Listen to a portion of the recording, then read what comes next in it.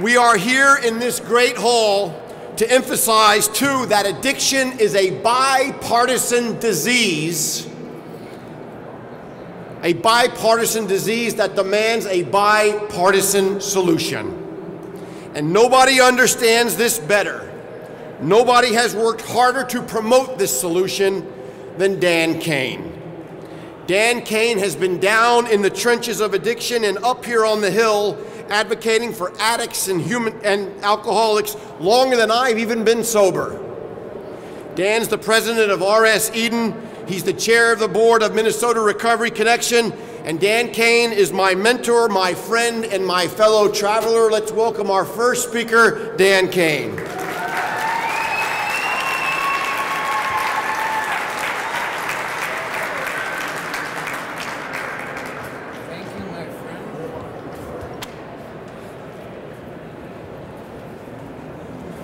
First rule of recovery don't believe your own BS.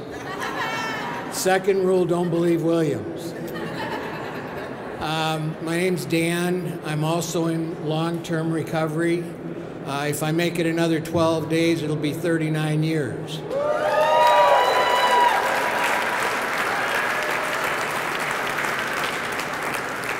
April 12th is also the day I got out of prison the last time. And uh, prior to that, I spent about eight years being a heroin addict. There are proposals floating around the legislature. Some have been passed out of committee, some have been passed out of a house in this legislature that would limit access to treatment.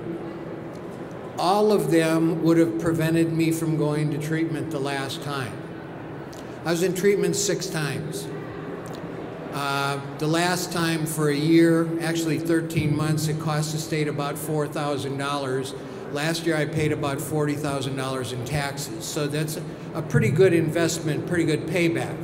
But what's being proposed today would have kept me out because you only get four treatments under what's being talked about in the Minnesota House.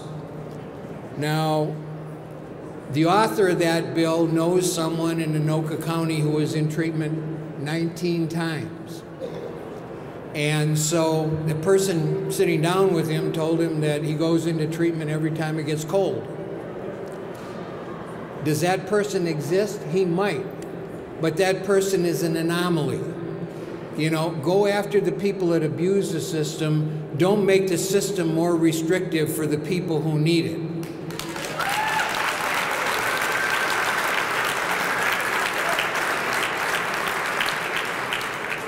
The current administration has a bill that says that you have to be more screwed up before you can get into residential treatment than you did before now.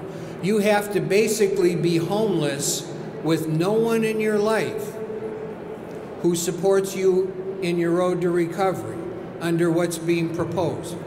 I had a mother that was a tremendous enabler.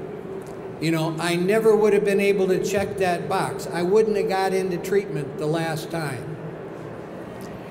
Treatment is the best investment that the state can make in terms of getting a return on the dollars that it invests. There are studies that say that, that the lowest, the lowest study suggests that for every dollar spent on treatment, $7 is returned through lower crime, lower prosecution, lower emergency room rates, lower welfare, lower whatever you got, because ours is the one disease that impacts on everything. Drug court, which is a combination of the criminal justice system and the substance abuse treatment system, they just recently did a study that said that for every dollar invested, you regain $15.36. 15, I mean, if I could get an investment that would pay me 15 bucks for every buck I put in, I mean, I could make Bernie Madoff look like a pauper. But unfortunately, people don't see us. You know, maybe it's because we have anonymity in at least the 12 step programs.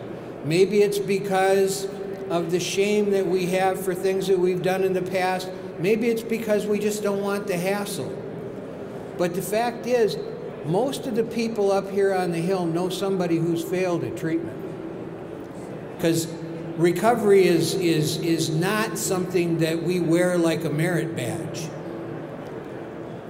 But each of them have had somebody whose addiction has touched their lives, some their own. And what we need to do is we need to show them that the William Moyers, the Dan Cains, all of you, that we're not the anomalies like that guy who was there 19 times and somehow they feel he did something wrong. That we're the norm. And the only way we do that is to go up there, sit down and talk to them and say, you know, I'm what recovery looks like.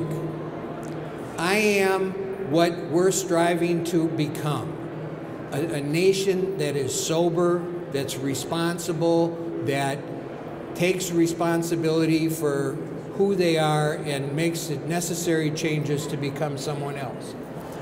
As you go out today, please, please engage your legislators. Tell them if you're going to cut, and they need to cut, but if you're going to cut, before you cut one dollar, one dollar in services to vulnerable populations, cut some of the red tape that we need to get in and to operate. Thank you very much.